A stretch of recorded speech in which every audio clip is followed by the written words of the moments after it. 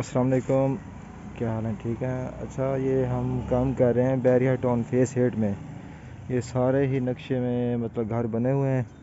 और, देख लें, हर हर अलग अलग में। लेकिन, बात यह है कि जो इन, जो इन्होंने घर बनाया है, पहले ये देख लें, ये देख लें, पहले इन्होंने की हुई है चिप्स, बाद में लगाया है चौकड़ा। ये देख लें, सारा नीरू नीरू लगा हुआ है और ये सारा चौकड़ा है। ये है सारा ईटों का चौकड़ा, ईटों वाला।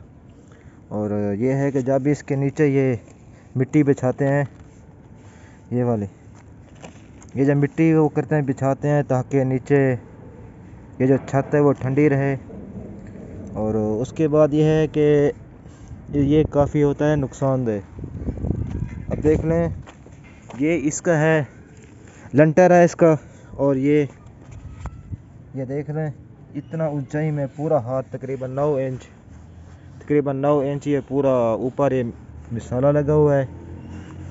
अब देख लें बाद में, अब यह देख लें, ये अब, ये जो पट्टी है ना, ये जब बारिश आती है तो पानी इससे मतलब नीचे जाता है, उसके बाद ये है कि ये फिर पूरी छत में फैल जाता है, उसके बाद आपकी सीलिंग, रंग सब कुछ ख़राब हो जाता है।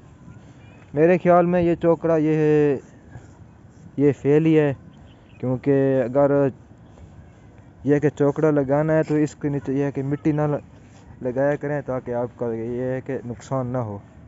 अब हमने इसके ऊपर चौकड़ा वो उन्होंने उतार के दिया था। अब हमने इसके ऊपर किया है कोटिंग, ग्राइंडिंग की है, जो भी हमारा प्रोसेस होता है। आप देख लें, फिर इसके बाद हमने इसके ऊपर लगाया है वन ओ फाइव, सिक्का का माल लगाया है। सिका वाटर वाटर प्रूफिंग कंपनी और उसके बाद ये है कि अब इंशाल्लाह पानी नहीं जाएगा नीचे। और बस ये है कि अगर एहतियात हो जाए थोड़ी सी उसके बाद ये है कि आपका नुकसान नहीं होगा। अब आप देख लें, उन्होंने अपने बचत के लिए इधर काफ़ी नुकसान कर दिया है। अंदर का काफ़ी नुकसान हो गया था, सीलिंग, रंग वगैरह सब कुछ ख़राब हो गया था। अब ये है कि हम इसके ऊपर वाटर प्रूफिंग कर दिया अब इन ये ओके हो जाएगा। ठीक है? इन बाकी अल्लाह खैर करे इसी उम्मीद के साथ नई वीडियो बनाएँगे फिर मिलते हैं। A few moments later.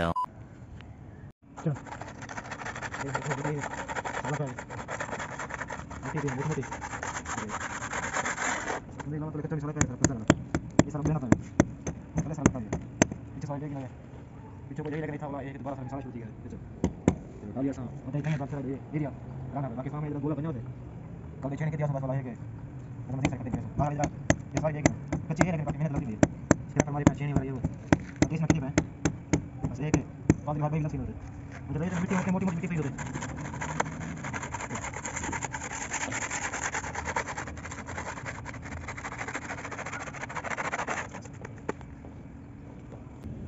ठीक है ਚੱਲ।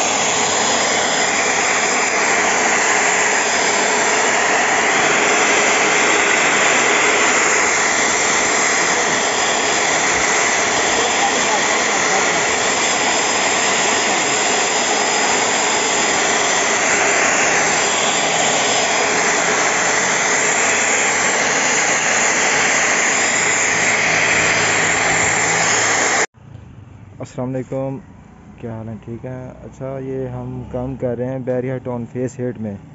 ये सारे ही नक्शे में मतलब घर बने हुए हैं। और देख लें, हर हर अलग अलग में लेकिन बात यह है कि जो इन, जो इन्होंने घर बनाया है, पहले ये देख लें, ये देख लें, पहले इन्होंने की हुई है चिप्स, बाद में लगाया है चौकड़ा। ये देख लें, सारा नीरू नीरू लगा हुआ है और ये सारा चौकड़ा है। ये है सारा ईटों का चौकड़ा, ईटों वाला। और ये है कि जब इसके नीचे ये मिट्टी बिछाते हैं, ये वाले।